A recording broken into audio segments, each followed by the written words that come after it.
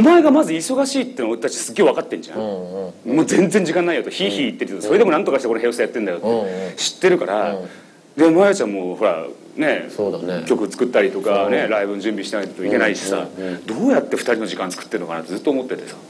そうだね。結構できるんだ。できるできる、まあお互いその今何が大事かっていうとやっぱりその仕事だったり、そのこうなんていうのか重ねてきた時間がこう重なったものが今結婚だから、うん。そういう意味ではあの本当にねスタイルは全く変えずにうん。子は子であるっていうことをうん。お互いに認識して暮らしてるって感じ、お難しい感じになってきた、うん、でもね難しくないんだけどいや分かる。すげえよく、うん。すげえよく分かる。当たり前の感じだかいやら、だからそういうのすずのことも分かるし、まやちゃんのこともよく知ってるから、うんうん。だからあこの二人がうん。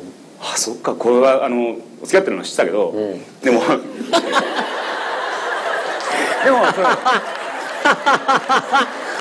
あ。いやいやいや。いやあそう？いやいやあのあじゃあよ予感がしてた。うんうんうん予感かなかな？本田博樹あんま驚けへんかったんや。だいやっていうかそういうまあそういう部分もあるし、うん。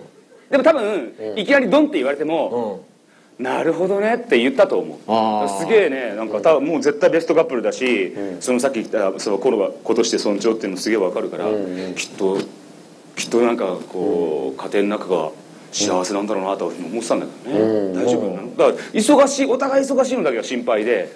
うん